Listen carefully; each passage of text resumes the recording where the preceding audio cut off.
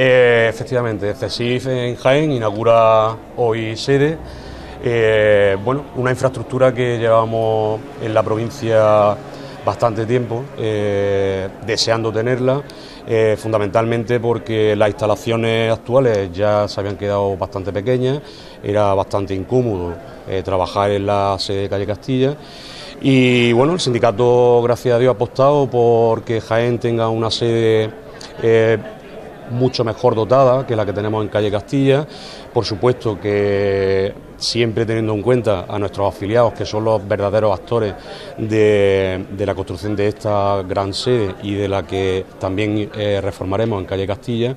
de forma que CESIS pues, tendrá en Jaén unas instalaciones y una infraestructura acorde con nuestra afiliación y para nuestra afiliación fundamental. Efectivamente, la, sede, bueno, lo que son infraestructuras y lo que son el mantenimiento de, de los gastos del sindicato propiamente dicho, lo mantienen los afiliados con sus cuotas y por ello insisto mucho mucho en que son los principales actores de que tengamos hoy eh, esta sede y esta infraestructura tan, tan importante tan maravillosa. Yo quiero que mis primeras palabras sean de felicitación al sindicato, a CESI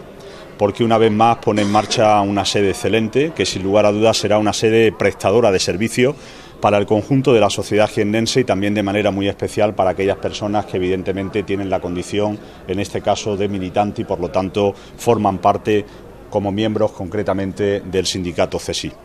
Y fundamentalmente poner en valor a raíz de las relaciones que mantenemos en el Ayuntamiento jiennense, donde viene a ser una fuerza sindical extraordinariamente representativa, la labor que vienen haciendo tanto a nivel de España como de Andalucía y en el ámbito de la provincia jiennense.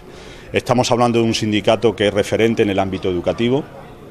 un sindicato que es referente en el ámbito de la justicia,